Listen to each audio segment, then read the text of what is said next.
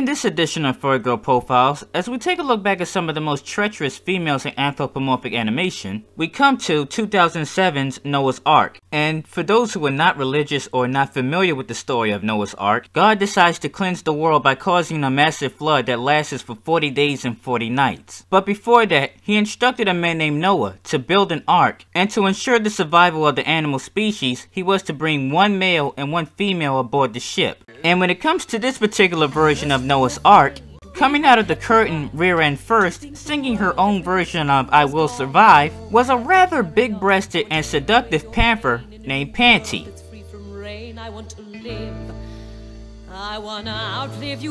Panthy's English voice actress was Heather Gallagher. She was a singer and secondary antagonist along with the predators that worked side Danito. While Panthy's role as an antagonist was rather small, she was responsible for seducing and using the main hero, Zero, then later on getting him framed for killing an innocent animal aboard the Ark. Panthy's appearance causes somewhat of a plot hole however because there was supposed to be one male and one female of each species aboard the Ark, but she was one of the few animals on board the Ark that didn't seem to have a mate. To understand her goal is to understand Danito's goal. He was a scheming tiger who was not only the leader of the predators, but also wanted to be king of the animal kingdom. And to him, being king meant he had easy access to all the prey he ever wanted without ever having to chase it ever again.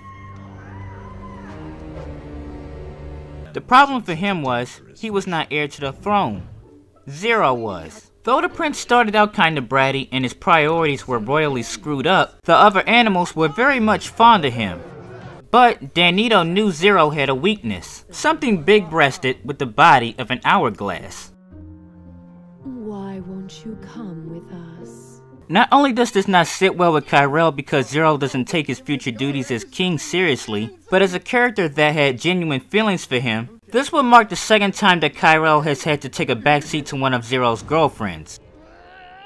While Zero was too much of an oblivious womanizer to look past the looks of Panthy, it was rather easy to see Panthy had no genuine feelings for Zero. And unfortunately, it took Kyrell scolding him to get some senses back into his head. But all you are is the result of a bad recipe for a king.